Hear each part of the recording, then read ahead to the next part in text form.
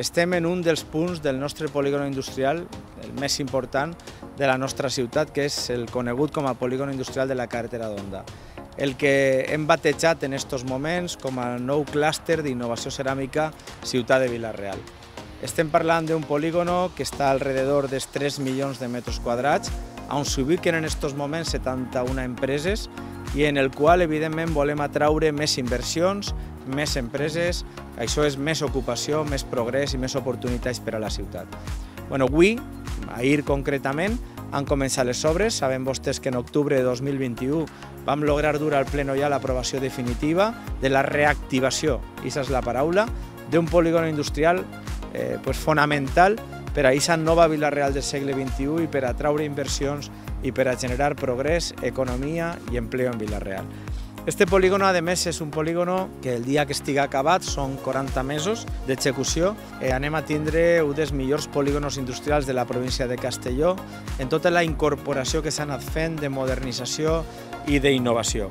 Entre ells anem a tindre punts eh, elèctrics de recàrrega, anem a tindre una xarxa de 5 quilòmetres de carrils bici, anem a tindre vials en sentit únic, en 254.000 metres quadrats en vials, Anem a optimitzar l'alcantarillat en noves tècniques modernes, anem a il·luminar en LED eh, tot el polígono, el qual va suposar estalvi energètic i possibilitats, per tant, d'abaratir el consum d'energia elèctrica i menor contaminació.